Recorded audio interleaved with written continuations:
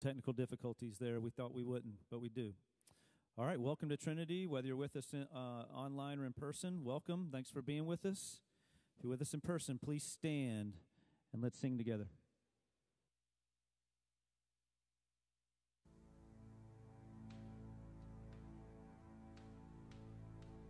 my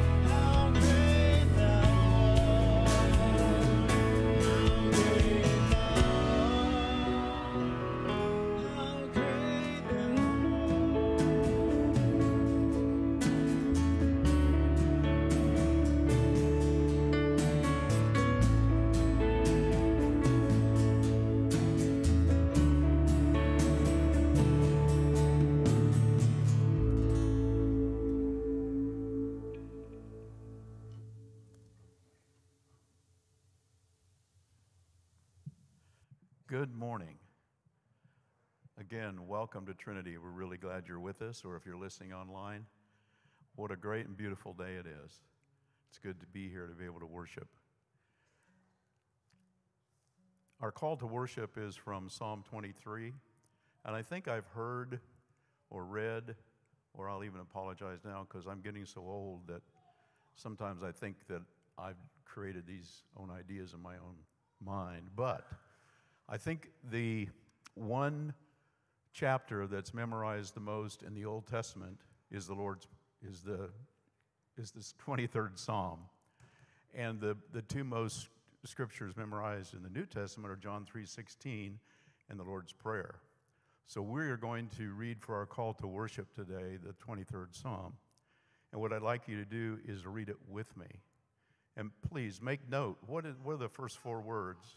Says, The Lord is my shepherd, not just the shepherd, He's my shepherd. So let's read that together. The Lord is my shepherd, I shall not want. He makes me lie down in green pastures. He leads me beside still waters. He restores my soul. He leads me in paths of righteousness for his name's sake. Even though I walk through the valley of the shadow of death, I will fear no evil, for you are with me. Your rod and your staff, they comfort me. You prepare a table before me in the presence of my enemies. You anoint my head with oil. My cup overflows. Surely goodness and mercy shall follow me all the days of my life, and I shall dwell in the house of the Lord forever. Amen. You may be seated.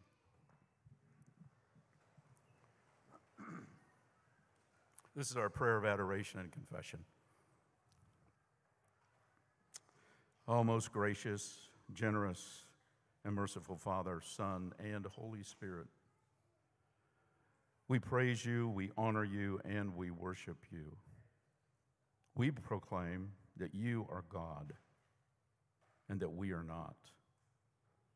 We exalt you as the Almighty God. You are the God who owns everything. That's us. You have the right to do anything with us at any time and in any way, whatever you so desire. Knowing this, O oh Lord, we take such great comfort that you are wise, you're loving, and you're a faithful good, good shepherd. And you delight in us, and you desire to abide with us, even in us. But Lord, we confess that our lives are centered so much on ourselves that when things do not go our way. We think you do not care. Please forgive us. Forgive us for our unbelief that makes us think you don't care. And transform these hearts into believing, faithful hearts that are so grateful and quick to remember that your love for us is what held Jesus on the cross. We ask this in Jesus' name. Amen. If you're Christ, listen to this great assurance of pardon. It's from some chosen verses from Isaiah 40. Behold, the Lord God comes with might, and his arm rules for him. He will tend his flock like a shepherd. He will gather the lambs in his arms. He will carry them in his bosom and gently lead those that are with young. To whom then will you compare me, that I should be like him, says the Holy One? Lift up your eyes on high and see. Who created these? He who brings out their host by number, calling them all by name, by the greatness of his might, and because he is strong in power, not one is missing.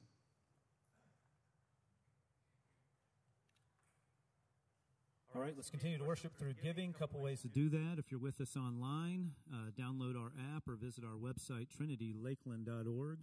Either way, find the give button. If you're with us in person, you can use those two ways, or we've got boxes in the back and the front to use to give.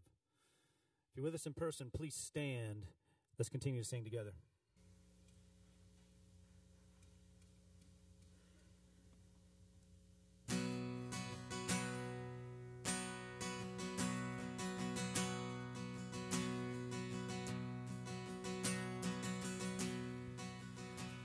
my words fall short.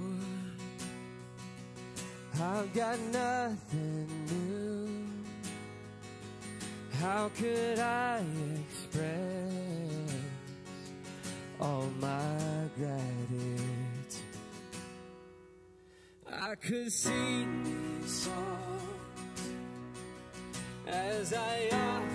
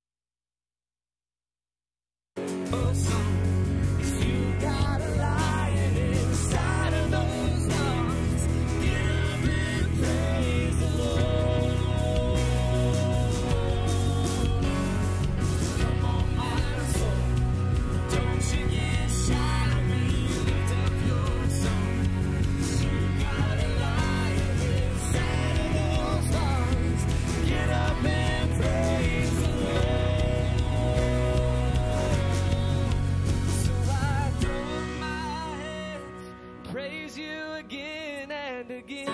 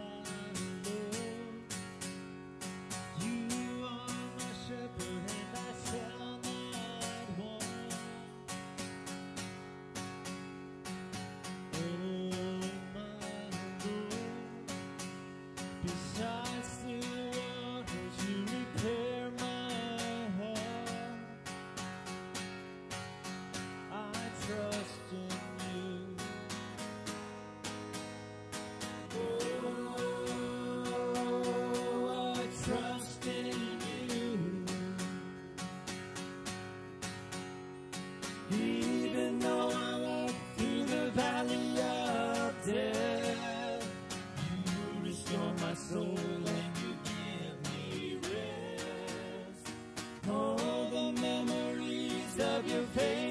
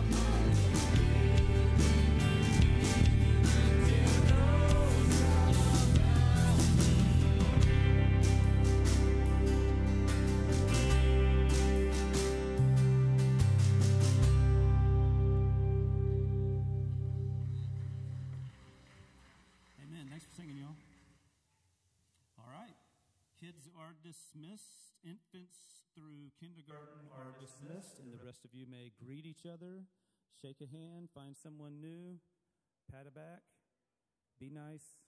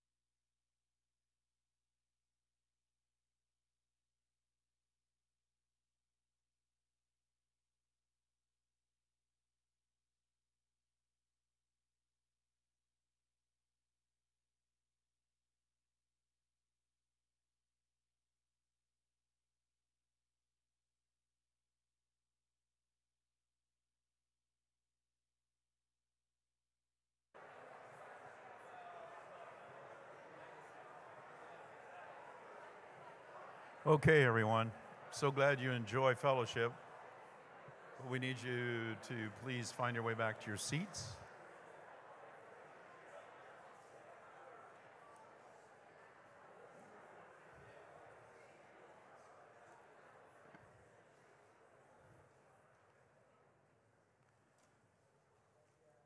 This is our prayer of thanksgiving intercession. Lord God, you are the three in one, and we praise you and we thank you that as a shepherd tends his sheep, you always move toward us to care for us and rescue us. Lord, I'm thinking about the song that we're going to sing later in the worship service, and it proclaims that you are always faithful and your goodness is running after us. What a great picture. We thank you and we praise you. Lord Jesus, thank you for laying down your life for us. And thank you, Holy Spirit, for never giving up on us and being willing to work into us the faith to believe, the absolute belief in the goodness and the mercy of our God. Lord, it's with um, great thanksgiving as we think about this current, this last storm that we just uh, went through, that we, most of us here in Lakeland, just did not have the disastrous effect that many did in Florida. We know that some of us are still without power and we've had some damage, but you have been merciful to us. So help us reach out to those people that need so much help. We do pray, Lord, that in this, in this storm, particularly for those that have lost faith, those who've lost loved ones, friends, homes, possessions, and businesses, we pray that they grab onto Jesus because in Him is only their really security and comfort. Lord, we pray also that you would make ways for the practical things to come together, like uh, the emergency crews and the services to get there, the medical care, the repair crews. Lord, that neighbors and friends would pitch in when they can.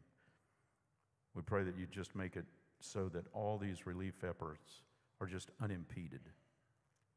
Lord, we also pray that you would stop looters and anyone who would try to take advantage of people who've already been devastated by this storm.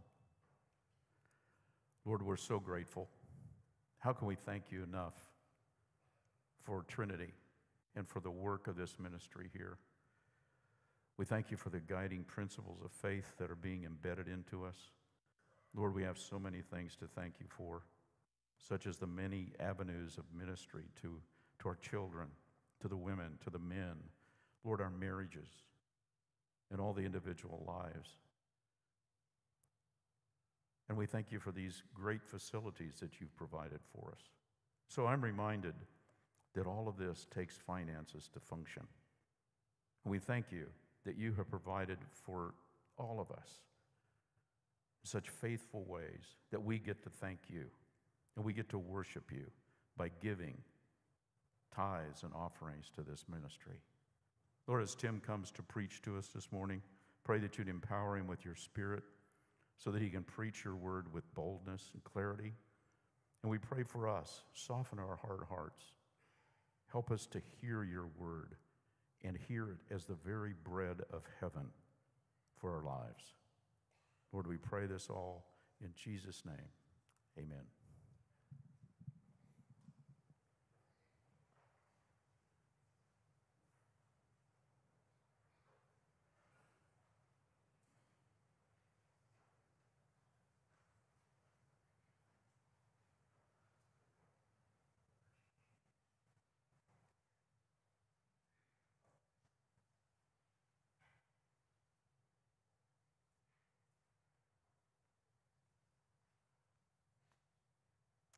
Good morning. My name is Lois Knowlton.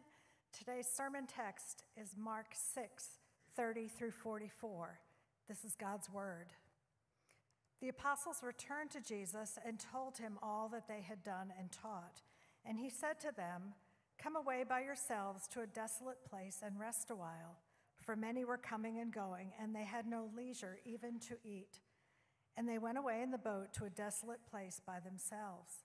Now many saw them going and rec- recognized them, and they ran there on foot from all the towns and got there ahead of them. When he went ashore, ashore, he saw a great crowd, and he had compassion on them because they were like sheep without a shepherd. And he began to teach them many things. And when it grew late, his disciples came to him and said, This is a desolate place, and the hour is now late. Send them away to go into the surrounding countryside and villages and buy themselves something to eat. But he answered them, You give them something to eat. And they said to him, Shall we go and buy 200 denarii worth of bread and give it to them to eat? And he said, How many loaves do you have? Go and see. And when they had found out, they said, Five and two fish. Then he commanded them all to sit down in groups on the green grass. So they sat down in groups by hundreds and by fifties. And taking the five loaves and the two fish, he looked up to heaven and said a blessing, and broke the loaves and gave them to the disciples to set before the people. And he deci- divided the two fish among them all. And they all ate and were satisfied. And they took up twelve baskets full of broken pieces and of the fish. And those who ate the loaves were 5,000 men. Thank you, Lois. So if you're new or visiting Trinity, we're in the middle of this looking at the Gospel of Mark. And as we're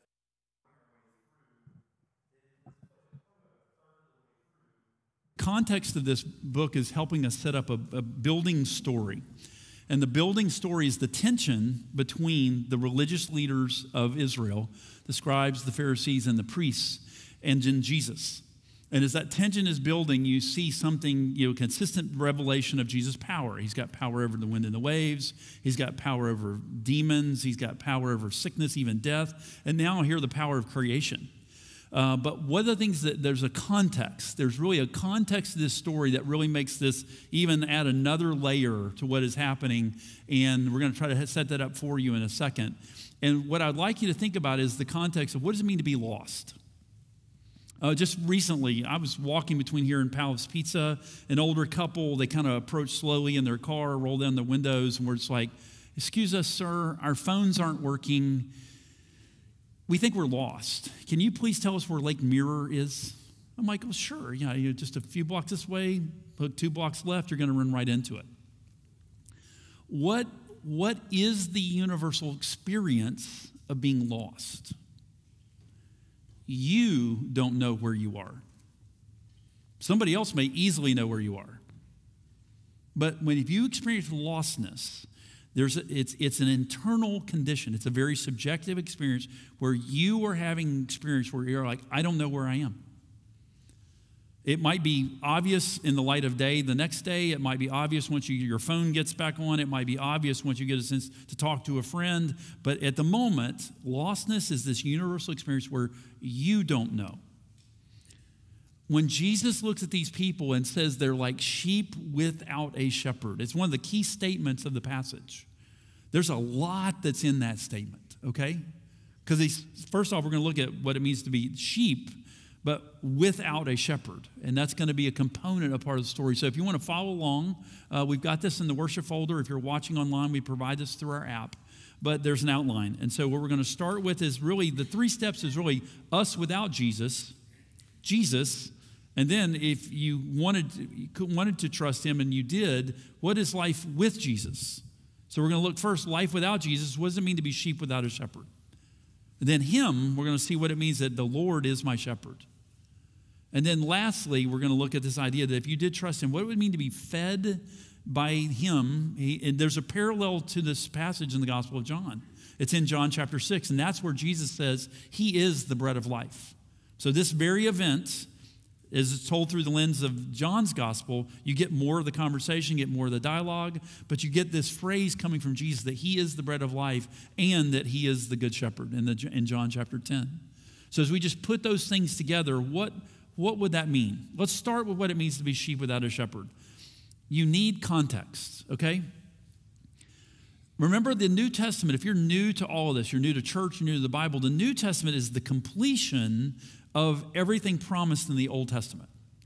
So when you read the New Testament, this might be the very first things you've ever read in the Bible. This is really coming at the end of hundreds of pages and then thousands of years of God speaking to his people Israel. And as he gives clarity on what they should be, as he reveals his love and his grace toward them, as he foretells the coming of Messiah, who's going to be the Savior, there's a, a keen passage about 450 BC. About 450 BC, you have the prophet Ezekiel. And Ezekiel talks about where, what life is like for Israel when the shepherds aren't doing their job.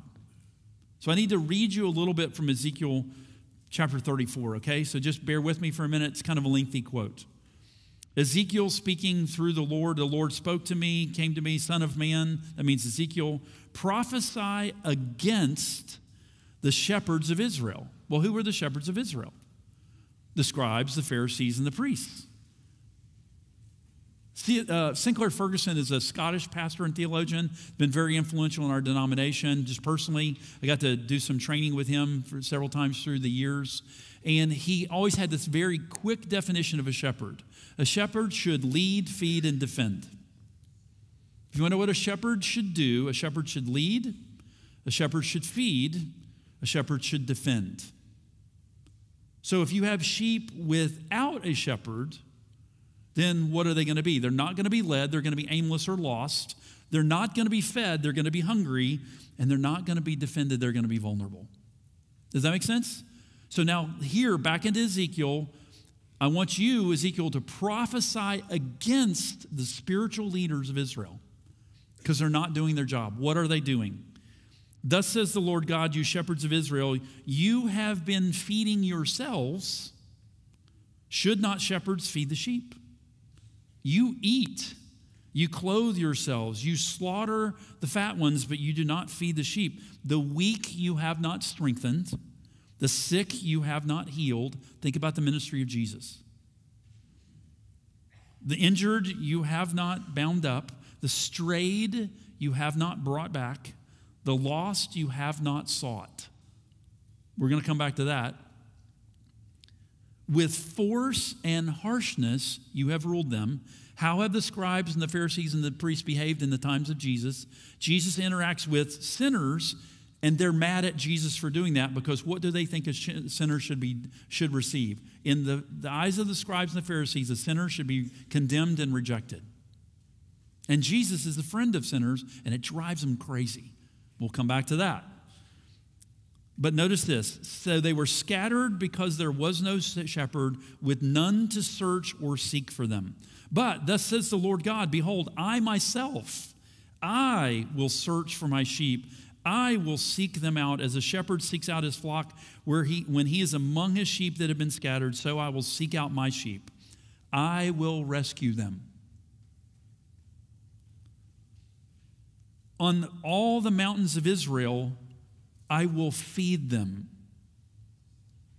If you've ever seen the Sea of Galilee in real life, the Sea of Galilee is a really, really big lake. Think like about in this area, think like Lake Hancock. It's not so big that you, on one shore, you can't see the other shore. If you're out in the middle of it, you can always see. In fact, from one shore, you can see the other side. But it is surrounded to the east, to the north, and to the west with hills and mountains. Where are these people? From your side of the clock, they've been up around Capernaum, which is around 1 to 2 o'clock, and now Jesus has moved over to the west shore, and that would be about at 9 o'clock on your, your compass. And the people have seen where he's going. It's not that big. If they see him row in that direction, they can start hustling. And like it says in the narrative, they've gotten there and they're there, and crowds have gotten there ahead of him. Why? Because they're desperate to be healed, they're desperate to be taken care of. But notice what the Lord, this is 450 BC. As the Lord is condemning the shepherds of Israel, continuing, he says, On the mountain of heights, they shall lie down. I myself will be the shepherd of my sheep, and I myself will make them lie down, declares the Lord God. I will seek the lost, I'll bring back the strayed, I'll bind up the injured, I'll strengthen the weak. I will feed them. I will rescue my flock. Now, catch this I will set up over them my servant, one shepherd, David. Now, Ezekiel's writing 550 years after David died. How can he say that the Lord is going to set up his servant David to be the shepherd of Israel? He will feed them and be their shepherd, and I, the Lord, will be their God, and my servant David shall be prince among them. I, the Lord, have spoken it. That's the context. So just think if you were learned in Israel, if you knew your scriptures, you would always have known that there's this promise there in Ezekiel where the Lord is condemning the shepherds, but he's promising to save the sheep. Now, let that land on you as you hear the context of this narrative that Jesus arrives at this coast, he sees the great crowds, and what does he say they are? Look at verse 34. And when he went ashore, he saw a great crowd, and he had compassion on them because they were like sheep without a shepherd. What does a shepherd do?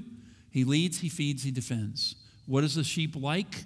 First off, we have to remember, coming back to the basics, sheep are among the dumbest animals of all the animal kingdom, okay? So be careful. When God says we are sheep, not a compliment. Now think of Romans 3. All we, like sheep, have gone astray. Each one of us has turned to our own way. What that means, if you're new to this, what the Bible is saying about you, what the Bible is saying about me, is that my Maker is good and wise and faithful and just and prov- provides for me abundantly, and I don't trust Him. I turn away from Him and I turn away to my own way. And like it says in Romans 1, thinking myself to be wise, I become an idiot. And I exchange the glory of the immortal God for things that are made and creaturely, and I exchange the truth of God for a lie. What does it mean to be sheep? What does it mean to not have a shepherd? And that's what Je- that's Jesus' evaluation of this situation. Vulnerable, astray. Now remember, what does it mean to be lost? You don't know where you are. How do you behave when you don't believe you are lost? Like you know where you're going, like you know what you're doing. I got this. And then have you ever have you ever run into the situation have these words ever left your mouth? Yeah, I thought, but I thought but it could be in a conversation with your spouse. What were you doing? Why did you do that? Well, I thought, but. Or seriously, how many of you have heard the testimonials this week? And that on Monday and Tuesday, the evacuations were being ordered. And on the coastal islands around Port Charlotte and Estero and Fort Myers and that area, and people were saying, You need to leave. And then the testimonial of one of a sample of, of about a dozen that I have now seen online. A woman, very shaken, looking very rattled, very humbled. She said, Well, my husband and I just thought we could ride it out. But then we called 911. And they told us, We can't get to you. It's too late. And then, with an EMT in her presence, and the reporter just gently asked her, says, And what do you think about that now? She said, I wish we had evacuated. I thought, but. How do we behave when we think, but? Sheep. There's a capacity in here to turn to our own way and to become fools against, against the design, against the goodness, against the will of our Maker. So when Jesus comes and he sees the crowd, now notice, he doesn't hate them. He has compassion on them because they're sheep like sheep without a shepherd. So, first big idea, sheep without a shepherd. Second big idea, what is he like? I mean, just consider what he what are his options. Again, if you read John chapter 6, the details of John chapter 6, many people in the crowd are not kind. They're not noble. They actually they challenge Jesus for more signs. They kind of like, well, well, you need to do something to prove to us that you're you're worthy of our trust. He's like, excuse me? I just fed 5,000 people from one little meal. And you think I need to do a sign? That's part of the crowd. But then Jesus is, is, is, challenging them regularly over their unbelief, but he says to, nevertheless, he says, but, but all that the Father gives to me will come to me. And whoever comes to me, I will by no means cast out. He is gracious and compassionate. So the first place it starts is the contrast between the one with power and the ones who don't have it. So if you'll notice, picking up at verse 35, so he says, the disciples come and say, It's a desolate place, the hour's late, send these people away so they can go get something to eat. And Jesus responds, You give them something to eat. Now, the response of saying, If we have 200 denarii, worth of bread. A denarius was a day's wage. Translate that into modern salaries. The median income in America right now is $40,000. At $40,000, your daily wage is around 160. What's $160 times 200? That's over 30 grand. So Jesus says, you get give them something to eat. And, and I think it's in the other gospel where it says Thomas. And Thomas is kind of known as the skeptical one and certainly the sarcastic one. He's a man I understand. Um, Thomas says, like, 30 grand? That wouldn't do it. In other words, the, the tone of the question, the tone of the response is, there's no way. And then what does Jesus, what is Jesus doing with that? He is doing what he regularly does. He is accentuating who has power and who does not. Who is adequate and who is the provider and who is, who is dependent and who is actually that we are but dust. And we forget that. And we think, I don't need him. And Jesus like, you feed him. And then it's comical. I mean, I just love this narrative. So, shall we go and buy 230 grand worth of bread and give it to eat? As it says in John, that wouldn't be enough. So then Jesus says, Well, how many loaves do we have? Go and see. And when they find out, they say five loaves and two fish. Now, the fish in that area are like tilapia. So, have you had fish tacos? So, you know, tilapia fillets and might be a little piece about that big. So, think of like you've got two tilapia and you got five little barley loaves. That's a happy meal. You feed them, ain't no way. Jesus says, Well, go see what we have. And they bring back to him a happy meal. And then what does he begin to do? Now remember, remember the prophecy of Ezekiel 34? I will feed my sheep. I will feed them on the mountains and on the pastures of Israel. And he commanded them all to sit down in groups on the green grass, just like sheep. Just like sheep being collected to be fed and laid out on the lawns to calm down and sit down and lie down, they are being shepherded. If you couldn't catch the imagery, you'd be, you could be forgiven for not catching the subtlety of this. But to the original reader and to a Jew and to the image on that time in that period, it would have popped. Oh, he's treating them like sheep. But he's being a shepherd because he's going to feed his sheep. Now, catch this the miracle is not necessarily visible to everybody because what is really being done is it's being carried out through the disciples. Because then Jesus says to them, they sat down in groups by hundreds and fifties, and taking the five loaves and the two fish, he looked up to heaven. He says a blessing, and he broke the loaves and gave them to the disciples to set before the people.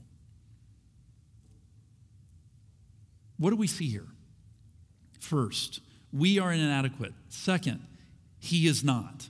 If he is the God of all creation, if he is the Lord of heaven, and remember, if you're new to this or you're new to reading the Bible, this is who we really think Jesus really is. Jesus really is the God of creation. He really is the God of the Old Testament, now in human form. But he's here on a mission to save us. But if he is still the God of all creation, what can he do with a happy meal?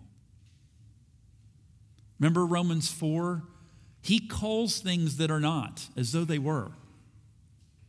He can take nothing and cause something. He can take little and he can make it much. You're seeing Jesus reveal his power, not just power over creation, power over demons, power over death, but now the power of creation itself in his hands. And with that power, what is he doing with that power? Think about what he could do to us. He could blot us out, he could cut us off, he could expel us, he could reject us totally for being like sheep. And instead, with all that power, he wields that power graciously toward people like you and me to actually have compassion on us when we are like sheep without a shepherd.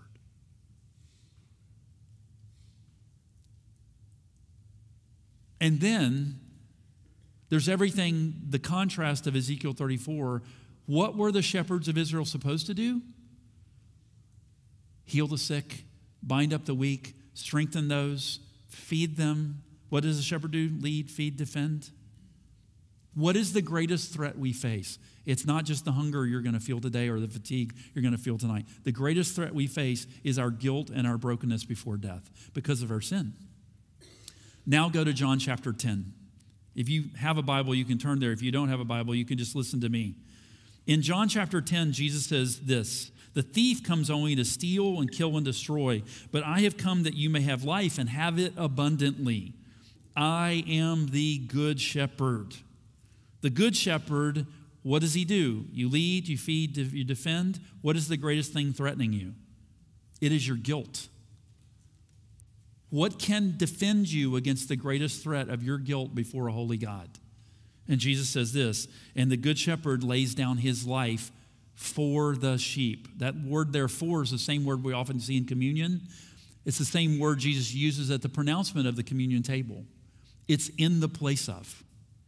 The good shepherd lays down his life in the place of his sheep to defend us against the greatest threat we face, and that is God's justice against our guilt. That's not all. What is your other greatest threat? Death. Punishment is the first problem. Death, irrecoverably trapped by death, is your second problem. And what does Jesus say against that? I'm the good shepherd. I know my own, and my own know me. And as the Father knows me, and I know the Father, I lay down my life for the sheep. And for this reason, the Father loves me because I lay down my life that I may take it up again. Resurrection. No one can take it from me, but I lay it down of my own accord, and I have authority to lay it down, and I have authority to take it up again. The, this charge I have received from my Father. How can Jesus shepherd us, lead, feed, and defend us against the greatest threat? Because he lays down his life in our place on the cross. And he takes his life up again in his resurrection. So, by those two acts, his death and his resurrection, he now defends you. If you put your faith in him, he defends you against the greatest two things that threaten your soul. And not just here, not now, but for all eternity. That is something the shepherds of Israel could never do. What does Jesus do? Remember, remember the interaction? When does he give us the shepherd, shepherd imagery? Back in Luke's gospel, in Luke 19, when he interacts with Zacchaeus, the tax collector, it's very famous because people are basically shocked because Zacchaeus is a tax collector. Remember, a tax collector is like Guido the loan shark. I mean, he extorts money from people by force, like, you know, pay the Romans or we'll break your ankles. Pay the Romans or we'll break your hand. That's, that's Zacchaeus. That was a tax collector. Matthew, one of the apostles, was a tax collector. And when Jesus is there at, ta- at the tax collector's house, conveying to him the hope of grace and salvation, even for him, Zacchaeus is a transformed man. Jesus caps off that narrative by saying this The Son of Man came to seek and to save the lost. What does a shepherd do? He will describe himself in the same thing in Luke 15. Remember, in Luke 15, same story. The shepherds of Israel, the scribes, the Pharisees, the priests, are furious with Jesus because it says he receives and dines with sinners. To them, Jesus tells this parable, one parable. There was a shepherd who lost one sheep out of a hundred. He leaves the 99. He goes and seeks for it, finds it, brings it home, and there's rejoicing. A woman lost a coin, a gold coin, one coin in 10, more valuable. She stops everything. She seeks for the coin. She finds it. She brings back the coin. Everybody with her rejoices. Then the, the, the twist in the story a man loses one son out of two. And when that son goes away, the older brother, culturally, his job would be to go search for his brother, does absolutely nothing but stay at home and grouse and complain. And then, on his own accord, when the son comes to his senses and comes back, and the father graciously restores the lost son. Remember, this is my son who was dead, but now he's alive, the prodigal son. The older son throws a hissy fit and complains that he's being kind to the sinner. Jesus is telling those three parables as one parable to the shepherds of Israel. And what does Jesus, why is he accentuating? Because what is Jesus in the story? He's the shepherd that would leave the 99 to go chase you. We're going to sing it. His goodness is running after.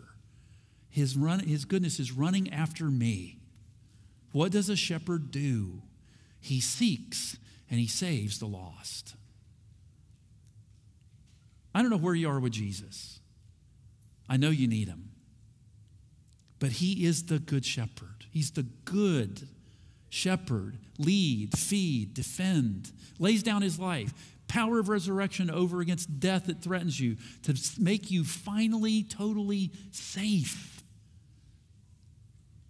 So, what if you did? Last big idea. Third big idea what, what if you did? What, what is life like if He is the bread of life, like He says in John 6? That if you, you trust in me, you will never hunger. You come to me, you'll never thirst. What would it be like if you were fed by the bread of life? What if you were shepherded by Jesus, the Good Shepherd? First, you know your source from heaven, just like Jesus. Go to verse 41. So notice that before this all goes down, Jesus has collected the happy meal. He has the five loaves. And I mean, if you see a barley loaf in Israel, they're little. Kind of think of something about the size of a pickle. A little loaf of bread about the size of a pickle. You got five of those and you got two tilapia. But what does Jesus do with them? Look in verse 41.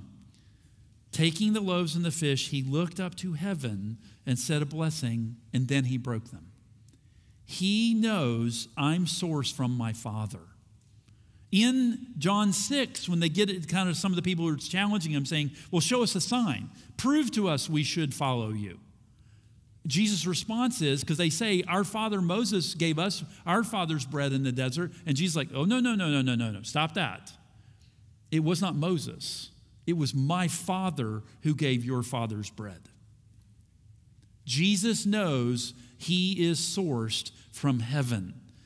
If you are fed by him and if you are shepherded by him, you start to know that too. Why can you calm down? Why can you keep your wits about you? Maybe for the first time in your life, actually have real spiritual poise, composure, because you know where you're sourced. And you know that the one who sources you is the Almighty. The Lord is my shepherd. Finish it. I shall not want. I shall not lack a thing. Verse 42 They all ate and were satisfied. What a statement. Happy meal in the hands of Jesus, sourced by the Father, broken and distributed, and what and everybody ate. And how much did they eat? To satisfaction. If you're fed by the bread of heaven, like Jesus says, you come to me, you'll never hunger. You believe in me, you'll never thirst. John 6 35. If you're fed by him and you're shepherded by him, what happens? Satisfaction, fullness, contentment. I have enough. Which ties right into the third thing, verse 43. And then they took up 12 baskets full of broken pieces and of the fish. That think about think about the image of Psalm 23, which we read at the beginning all together. And when he says, "My cup overflows," have you ever seen one of those towers of champagne glasses? Like you know, you take a, a square table and fill it up, maybe of ranks of 16 by 16, and then on top of those you put another stack, and then on top of that maybe a stack of four by four, and then up one on the top, right? And then what did they do? They uncorked the bottle of champagne. Remember, we're Presbyterians, we're not Baptists. We actually drink champagne and like it. We, give, we actually pray before we do and say, Thank you, Lord. Um, what happens? They dump the bottle and the cup overflows. And as the first one overflows, the second tier start to fill, and they overflow, and the next ones start to fill. That is this kind of life. One of the, my favorite things I've learned from my best friend Timo is he had this image about the understanding of the Sabbath. Think about God's design of the Sabbath that you live seven days, but you live on six days of work. You live seven days, but you live on six days of work. What does that imply about what God has built into his creation? God has built into you and into his creation and to us a capacity for production that is so overproducing that we live seven days on six days of laboring. Because that's what kind of God he is. He is an overflowing cup kind of God. And why? Because where do you think those 12 baskets were going? A museum? Do you think they had a religious museum to Jesus up there? Those 12 baskets were going to go out from there and feed other people. What has Jesus done with your life that is of a superabundant kind of nature that what you've learned, you can help someone else learn? That what you have, you can help someone else have. Right now, neighbors that don't have power are grateful for neighbors who do have power that will just say simply, hey, come over and take a hot shower. When Hurricane Irma knocked our power out for a week, do you know how much I, my neighbors mean to me? Because my neighbors did not hesitate to say things like, hey, come take a shower, come do laundry, come cook. Because what, what is the kind of life that is an overflowing, leftover kind of life? That what God has given me, Matthew 10, freely I've received, freely I will give. That some of you, you do it. John was praying it earlier. This church is funded by so many people that give, and they give so abundantly that you know that what goes outside of this church is almost three to four times the amount of generosity that comes into it. Let me do math. If our church budget is 2 million, the families of this church give away 8 million a year. That's beautiful. If this church budget has a $2 million budget, the families in this church fund $8 million worth of, of ministries in this city and around the country and in the world, in church planters and missionaries and causes and needs because of the overflowing nature of how the love of God has worked in their hearts. That is a beautiful thing. And it's not just money. You've got love, you've got knowledge, you've got relationships. I mean, if, if you really connected, if you really were fed by the bread of life, if you were really shepherded by Jesus, what should you expect? You know it's from heaven. You are, you are satisfied. And you know it overflows. It can't help but overflow because of everything that God is pouring into your life. John Calvin said, said in the 1500s, the finite, that means us limit, little limited creatures, cannot contain the infinite. It's like saying you got a water bottle, uh, you need to go fill it up. Okay, I'm going to go to Niagara Falls. It, it can't hold everything that's pouring in, but what happens? Just the overspilling and overflowing cannot help but splash on those who are around you. Where have you felt it? Where can you share it? And you begin to understand ah, yes, I have been fed. I am shepherded. And it's all because of His grace. Pray with me. Heavenly Father, we praise you that you are this kind of God, that Lord Jesus, you are this effective. To, you are the one who has succeeded where the, the, fail, the shepherds of Israel had failed terribly. Thank you, Lord Jesus, for atoning for our sin and for conquering the power of Satan and death and hell by your resurrection. And thank you for all that you provide for us infinitely, that you feed us forevermore. And thank you for what it means to be your sheep now, that we are no longer sheep without a shepherd, but we are yours, loved and cared for and redeemed by the Good Shepherd. It's in your name we pray, Lord Jesus. Amen. That would be bad.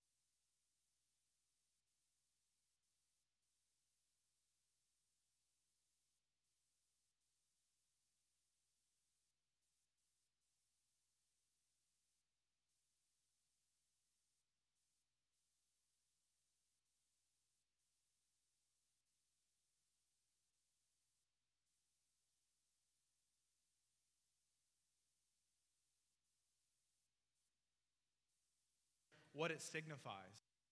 So, in a similar fashion, if, if a family member or friend invites you over and they cook something for you, what is your feelings toward them? You feel grateful, you're thankful, you, you feel love from them, and you have love going toward them. And so, your favorite meals with your favorite people point to the greatest feast from the greatest person we can know, and that's God Himself. And the meal is His Son, Jesus. See, that the elements of this table, the cup and the bread, they point to what Jesus did on our behalf. His innocent body broken so that our guilty body could be restored. His innocent blood poured out so that we could be cleansed and purified. He makes us adopted sons and daughters to God. And so this table points this amazing truth that the full righteous anger of God for our sin is emptied on his son. And so if you have faith in Jesus, he, the Father only has a smile toward you, his children. And that's what we live in because now we know whether in our sins or our good works, he is there. In our strengths and our weaknesses, he is there, promising to walk with us. And so this table proves his desire to commune and relate to his children. Here at Trinity and, and Paul in 1 Corinthians 11, we want to we want to evaluate ourselves before approaching this table. And so at Trinity, we, we do that in three different ways faith, accountability, and peace. Faith. This is not Trinity's table, this is Jesus' table. Do you have faith in Jesus? Is Jesus your personal Savior? Do you believe that Jesus is both God and man, dwell in one person who, who represents you on the cross? Second is accountability. Jesus had a public death because he publicly went on record for us. Have you publicly went on record of your faith in him? And that looks like becoming a, a member of this church or a member of another church, but have you told others about your faith in Jesus? And lastly, peace. This is a table of reconciliation. that we were enemies of God. We were sheep far away, and yet He has brought us and gathered us back to Himself. And so now we live a life modeling that. And so the Gospels in, in Matthew 5 and Matthew 18 if we have sinned against a brother or sister, have you repented and gone to them asking for their forgiveness? Or if someone has sinned against you, have you forgiven them? And so, for any of these reasons, if you decide today not to partake of these elements, it's, it could be a great sign of real maturity. And so, we would encourage you to spend some time praying as others collect um, the cup and the bread. Logistically, how we do this at Trinity, if you're downstairs, we'll have four servers where you can get the bread and a cup and go back to your seat. And upstairs, we'll have two servers on each of the corners. And so go back to your seat, and then we will partake together.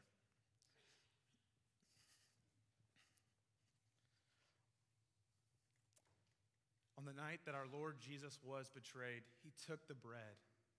And after he'd given thanks, he broke it and he gave it to his disciples and he said, Take and eat. This is my body for you. Do this in remembrance of me.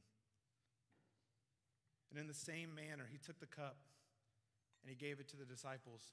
He said, This cup is the new covenant in my blood, which is shed for many for the remissions of sins. Take of it and drink. Servers, you may come forward. Will you join me in prayer? Lord, we need you. we need you as our shepherd and our guide. And so thank you that you have gathered us to yourself and that we get to partake today of this meal, pointing to the reality that we need you daily and always, and that we would be sheep who joyfully follow your leadership. Thank you that you are present with us now. It's in Jesus' name, amen.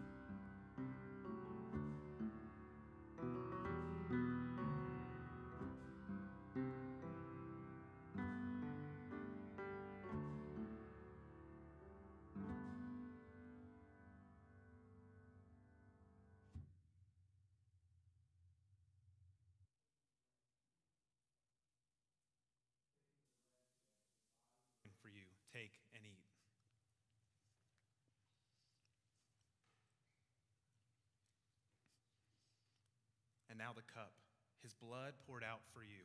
Take and drink. Will you pray with me? Lord, your word says if we draw near to you, you promise to draw near to us. We need you every moment of every day. Thank you for being a God who is committed to us, your sheep, your children, whom you love. Build our hearts to love you, build our delights to follow you, so that we may cling to you each day. It's in Jesus' name I pray, amen.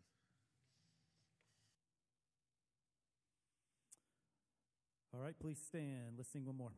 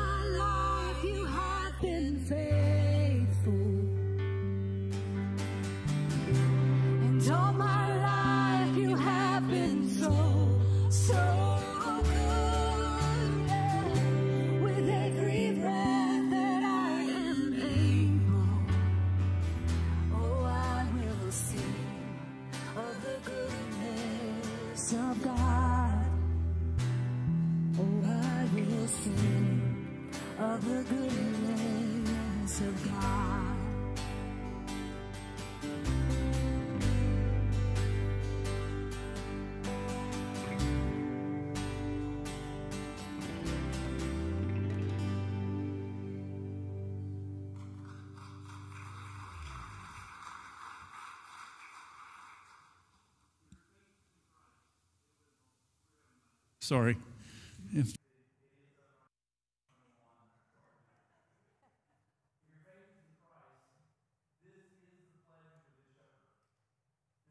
He guarantees. Take him at his word. May the Lord bless you and keep you. May the Lord make his face to shine upon you and be gracious to you. And may the Lord turn his face towards you and give you his peace, both now and forevermore. Amen. Go in his peace.